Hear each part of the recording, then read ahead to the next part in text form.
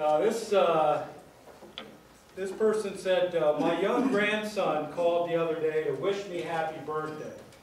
Uh, maybe this has happened to some of you. He asked me how old I was, and I told him 62. He was quiet for a moment, and then he asked, did you start at one?